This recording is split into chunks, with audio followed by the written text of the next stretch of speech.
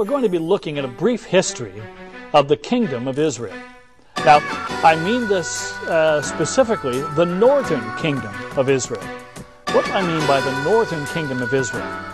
Well, in ancient times, Israel existed as a kingdom through the reign of King Saul, and then through King David, and then through King Solomon. Now, upon Solomon's death, the kingdom split in two.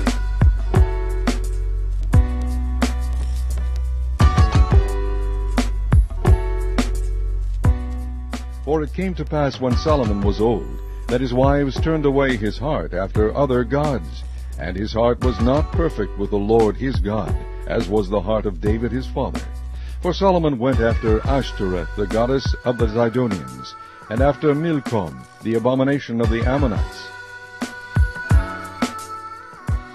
And the Lord was angry with Solomon, because his heart was turned from the Lord God of Israel, which had appeared unto him twice, and had commanded him concerning this thing, that he should not go after other gods. But he kept not that which the Lord commanded. And they left all the commandments of the Lord their God, and made them molten images, even two calves, and made a grove, and worshipped all the host of heaven, and served Baal. Therefore the Lord was very angry with Israel, and removed them out of his sight. And the Lord rejected all the seed of Israel, and afflicted them, and delivered them into the hand of Until the Lord removed Israel out of his sight, as he had said by all his servants the prophets. So was Israel carried away out of their own land to Assyria unto this day. In the ninth year of Hoshea, the king of Assyria took Samaria, carried Israel away into Assyria placed them in Hala and in Habor by the river of Gozan and in the cities of the Medes.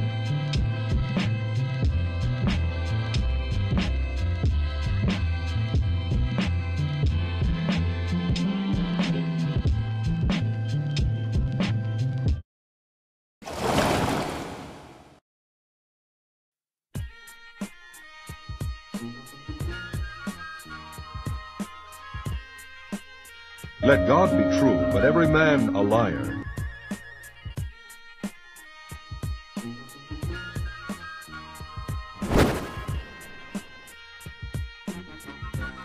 Those are the ten tribes which were carried away prisoner out of their own lands in the time of Hosea the king, whom Salmanasseh the king of Assyria led away captive. And he carried them over the borders, and so came they into another land. So the land they came into was the land of the Assyrian captivity. Now watch this. But they took this counsel among themselves, that they would leave the multitude of the heathen and go forth into a further country where never mankind dwelt. That's the key. Where never mankind dwelt. That they might there keep their statutes, which they never kept in their own land. And they entered into Euphrates by the narrow passages of the river. For the Most High then showed signs to them, and held still the flood, till they were passed over. For through that country there was a great way to go, namely of a year and a half. So it tells you the amount of time it took them to get to a land where never mankind dwelt. A year and a half. And the same region is called Arsareth. Okay, the region of this land over here is called Arsareth. Okay?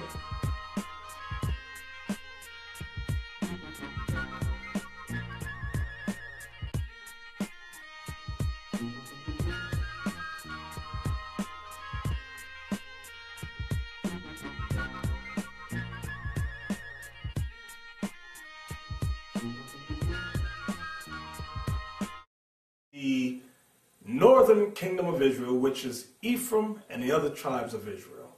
How they got to this side of the world? Does Hollywood know? Does history bear witness that the native Indians on this side of the world are Israelites? Let's examine a movie called 1492.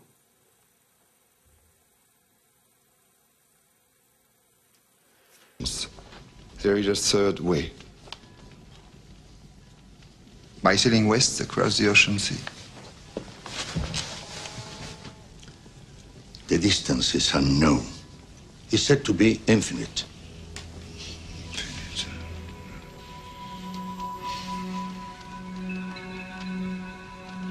Superstition. I believe the Indies are no more than 750 leagues west of the Canary Islands. How can you be so certain? The calculations of uh, Toscanelli, Marin de Tyr, Esdras. Esdras is a Jew. so what's worse? Two minutes, and already you're a dead man. For telling the truth? Yes. How can you be so certain? The calculations of uh, Toscanelli, Marin de Tyr, Esdras. Esdras is a Jew. so what's worse? Two minutes, and already you're a dead man. For telling the truth? Yes. The writers of this uh, uh, uh, screenplay, they put the writings of Esdras in the speech of Columbus. That's how Spain knew the Israelites were on this side of the world. By the writings of who? Esdras, the prophet Esdras.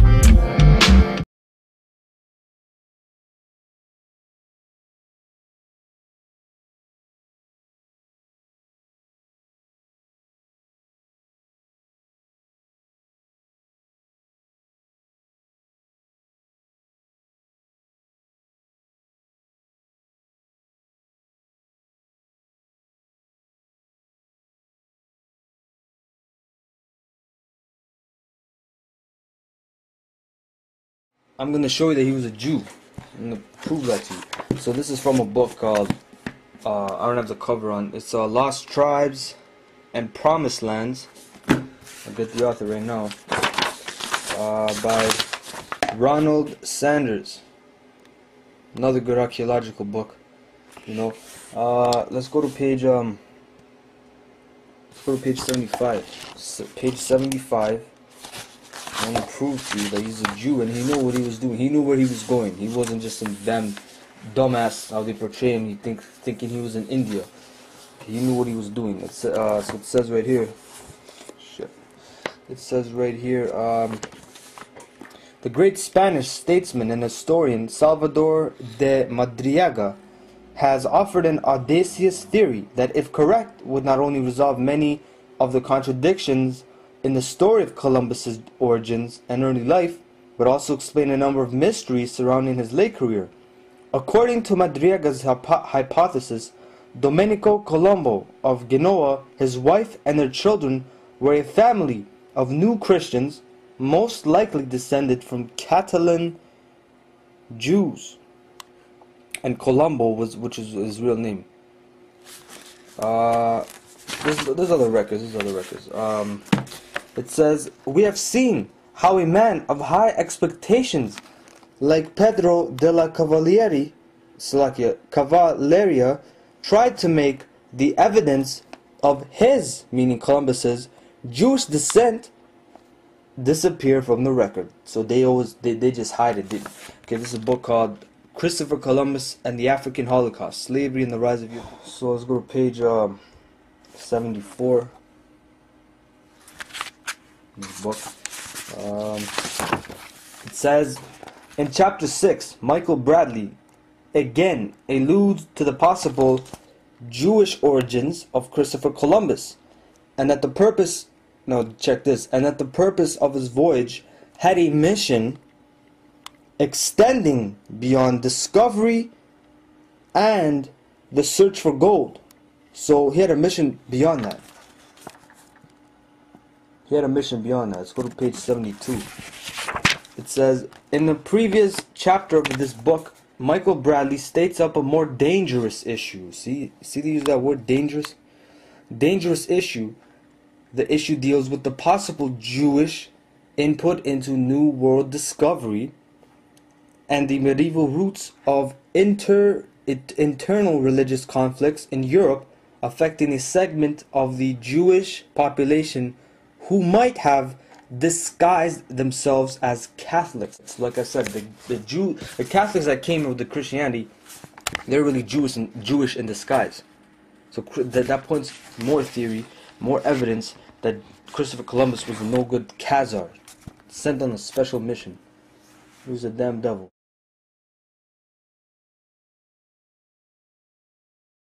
This book, Sails of Hope, Secret Mission of Columbus, page 172. It says, Why did Columbus take an Hebrew, an interpreter for Hebrew with him? Hebrew was not the language of any country in the known world. The only possible explanation must be that Columbus expected to be reaching countries in which Jews lived and governed. And that's exactly why he brought the Jewish interpreter.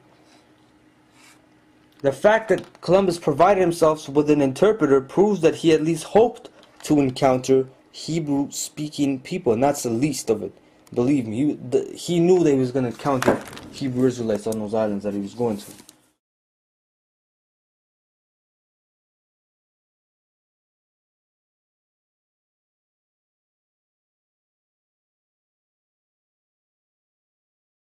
Back to the book, Lost Tribes and Promised Land page 92 of this book shows, uh, it says, We did not know much concerning Columbus's crew of about 90 men aboard the three ships, but at least one of them was an Israelite who, whose presence as such was not merely accidental. It says, it says he was he was said to have known Hebrew, Aramaic, and some Arabic, and had been brought along by Columbus specifically as an interpreter. Specifically. I got this magazine. Really, it's not a kid's magazine. It maybe look like a kid's magazine or whatever.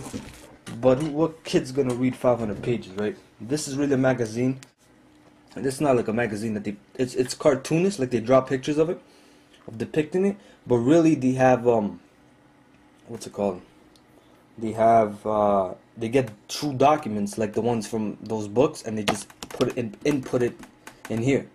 But they just make it look like a magazine basically. So it's just page 135 this is really informative actually.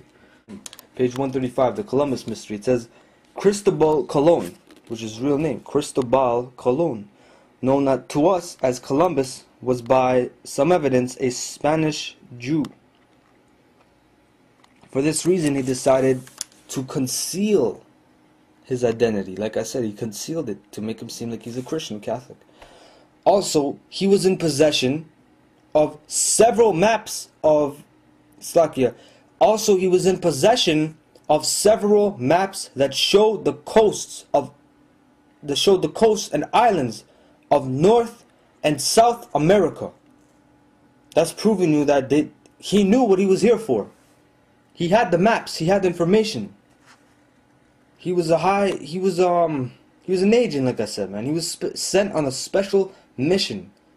He had the maps. He wasn't a damn idiot that just strolled on by and oh, I, I think this is India, and you know, like. So it says several crew members were Jewish, including Bernal, the ship's doctor. Now they bring out more information on this. Um, several members, crew members, were Jewish, including Bernal, the ship's doctor, and Marco, the surgeon. Abraham Zacuto provided astronomical tablets with which saved the lives of Colon and his crew on the fourth voyage.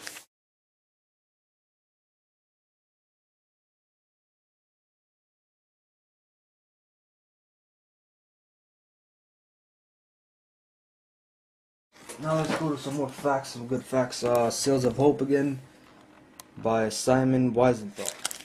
The Spanish ecclesiastic Roldan undertook to prove a common origin between the Jews and the between the Jews and the original inhabitants of America on the basis of linguistic evidence. He had studied the language of the Indians on Haiti, Levi, Cuba, Manasseh, and Jamaica, Benjamin, and the neighboring islands, and, the, and maintained that it showed similarities to Hebrew. You got Levi, Benjamin, and Manasseh, and neighboring islands. So mostly all of Benjamin. Bermuda, Trinidad, all the West Indies islands. And other islands, probably uh, Puerto Rico, you know, Haiti, that's what he said. Uh, Dominican, so it's Simeon and uh, hey, and Levi. Uh, that's four tribes. That, that that's shit, man. Four birds with one stone.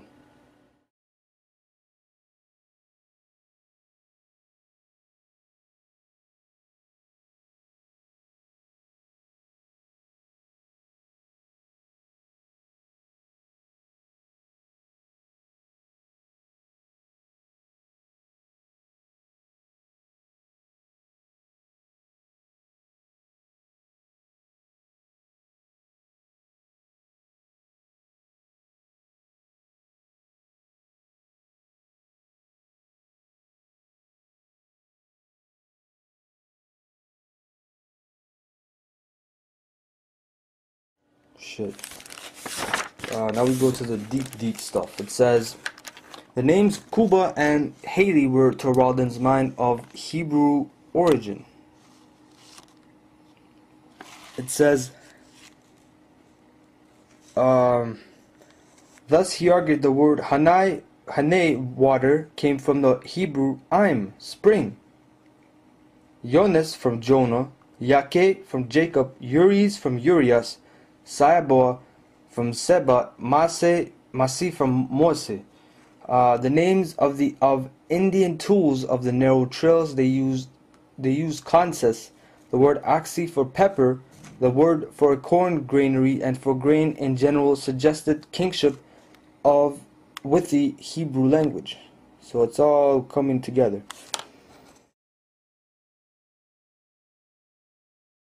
Here's more info from this magazine. Okay, um, page uh, 438. This is on the Incas. This is good information. Now, this is, uh, what's it called? The Incas is uh, from Peru, Ecuador, places like that. Private Vasher, basically. Page 438. It says, Therefore, Tupac Kori, which is a leader, commanded by law, because basically they're talking about how this is how Incas um, communicated by these. It says woodcut from the Spanish conquest depicting the Quipu. Okay, that's how they because there's basically the question is uh, uh, why did um, a civilization as advanced as the Incas, which had a great, you know, like they're just talking about how great the civilization and how advanced was. Why didn't they have a written language? Why didn't they write? Well, because the white man came and destroyed their language. But before they dig, they dig in how they had a language. So let's read. Montesinos is giving us the important information that the Incas and presumably other South American civilizations the Incas did have a written language. And uh, I'm going to show you the written language. This is an inscription they found. And I'm going to show you some letters. Okay? Some they go off, some not. Look, this is the Ah. The Ah is in Hebrew. Right here, that's the Ah. Okay? Now, let me just bring this over right here. Now, here's a Ka right here. As you see that's a ka. As you see right here. This is a ka right here. Okay? Um, there's many ahs. I just you know uh, highlight them as many as possible. This right here is a ya. As you can see. The ya. See Exactly the same. in the Hebrew language, ancient Hebrew. This is, I believe, Ba. No, this is the Ra. Um, I forgot the Ra. Right right now. The Ra. Okay. Um.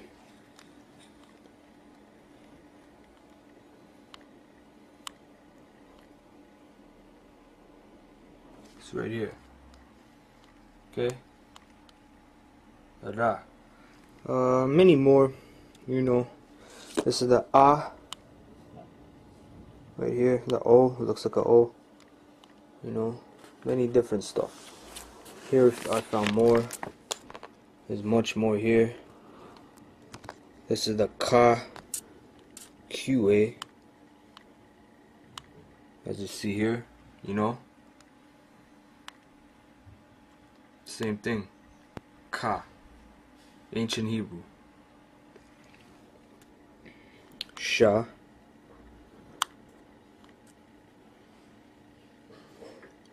Shah's right here. As you see. And then the Ta. Uh, right here. Okay.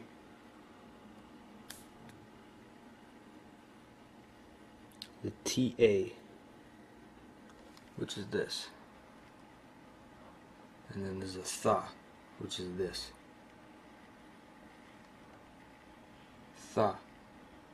THA, which is right here. Now, they, the white man made this to make them seem like savages, but as you see, I just showed you a couple consonants they kept. Overall, they made it seem like they're savages, but they're really not. They try to make them seem, but as you see, there's many Hebrew consonants that they kept. So the provings ain't no damn, you know. So it says Burns says that the secret writing of the Incas consisted of ten consonants in a similar manner to many ancient languages such as the Hebrew. Damn. Uh, also, like the Hebrew or other esoteric scripts, a numerical value could be associated with a letter and a letter with a numerical value. That's Hebrew. That's plain Hebrew. So that that proves that they use Hebrew. That they had a Hebrew uh, language. That they spoke Hebrew. That they had had a Hebrew alphabet. But the white man, like I said, the white man comes in and distorts everything.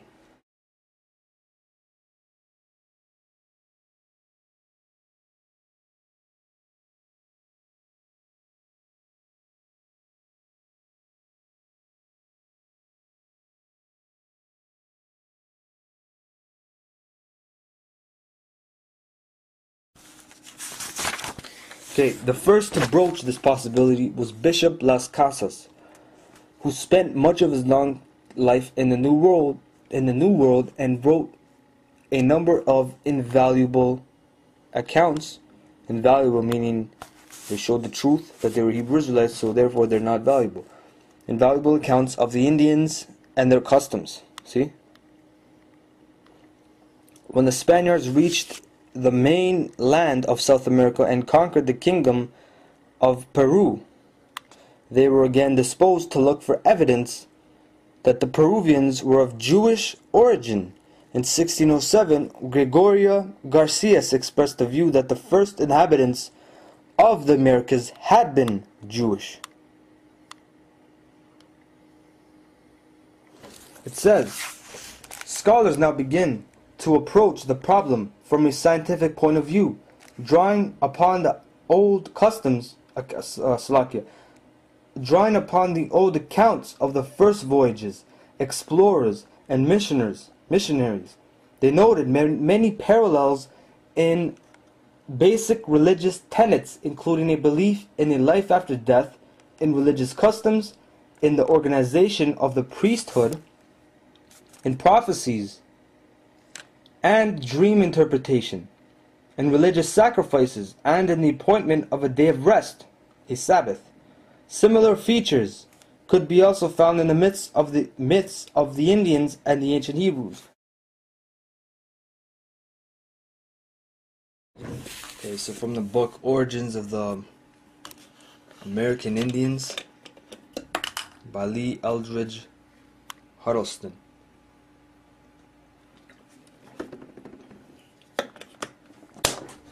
Alright, so page, one more page, 71. Oh, here's a good one. This is a killer. Uh, actually, the Indians did appear to keep certain parts of the law in certain areas. The Incas, tribe of Asher, held a festival in March similar to the Passover. The Yucatecan Indians, which is in Mexico, tribe of Issachar, practiced circumcision. Mexicans and, In- and Incas had eternal altar fires. Some Nicaraguans, which is the tribe of Zebulon, from uh, Guatemala to Panama, uh, Nicaragua, El Salvador, Costa Rica. Some Nicaraguans would not allow women who had recently given birth into the temples. That's in the law. That's 100% in, in the law. Mosaic law. Other parts of the law observed at various places included those which said that men should not sleep with women who had recently given birth. That's in the law as well. You're not supposed to sleep or or, or be near a woman when she has given birth. It depends if uh, uh, the days differ if it's a boy or girl. It says adulteresses were to be stoned. that's yo man. That's uh, Leviticus 20. You know. I'm, I'm, sure adulteresses were to be stoned.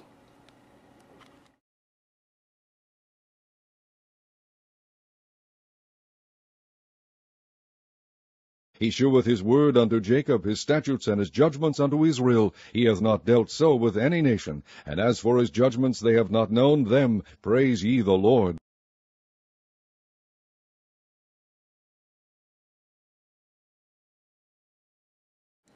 Showing that these are Israelites. A view on the of the American Indians, Israel Worsley.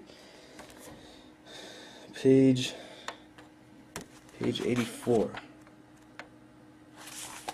It says, lacked, meaning scholar, in his de- description of South America, assures us that he often heard the Indians repeat the word hallelujah and Malvenda states that the natives of St. Michael had tombstones with ancient Hebrew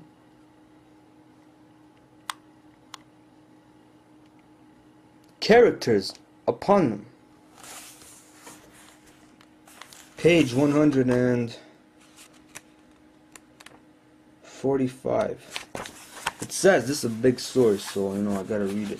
Um, on the 18th of August in the year 1644, a very small book was published in Amsterdam with the title The Gathering of Israel, first written in Dutch by Manasseh Israel, which is a so called Jew, a Khazar, and afterwards in Hebrew by Jacob, leader of the synagogue of that city for the benefit of the Jew generally, Jews generally. Aaron Levi, a Portuguese Jew, his account is as follows. He had been at Honduras, tribe of Zebulon, from whence he proceeded to Papuan, perhaps Popayan, that is, he, that is, he says, to Quito, which is in Ecuador. So we go from Zebulon, so you've been to, from Zebulon, from the tribe of Zebulon to the tribe of Asher in Ecuador, where he hired, where he hired mules of Span of a Spaniard to go into the country and took with him a guide who was called Francisco. Falling into conversation with his guide, he found him to be one of the original natives of America. It says Aaron's curiosity was much excited to know more of these people. Um, and learning from his guide that some of them wore very long beards.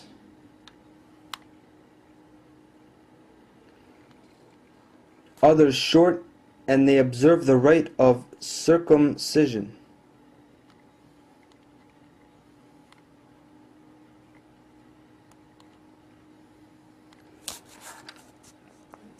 As they proceeded, Francisco made the inquiries, made many inquiries about Aaron's friend and origin. He asked him if he knew who was his original ancestor, to which Aaron replied yes, his name was Abraham, and added that he believed in one in one God that is in heaven. So the so-called Jew said, "That's my God," and yeah, blah blah blah bullshit. On the Sabbath day they rested, and after two days' journey more, they arrived at the bank of a larger river, much larger than the Duero. His guide then said to him, "Here you will find your brethren." So the true Israelite, which is a native, he said to the so-called Jew, "Here you'll find your brothers who are Israelites," because he thinks he's, he's a real Jew, which he's not. Um, his his account of the people is that their countenance were much burned by the sun, as they were of a fine, tall, straight stature, figure. My bad.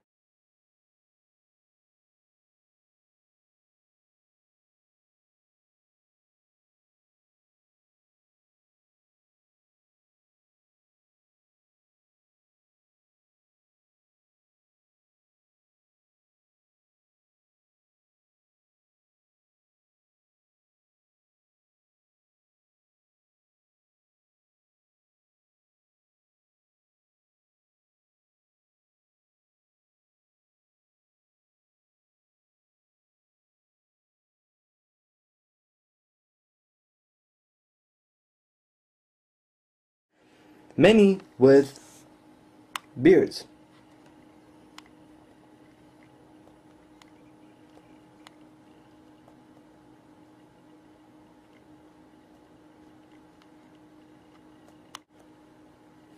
And that they wore on their heads a kind of turban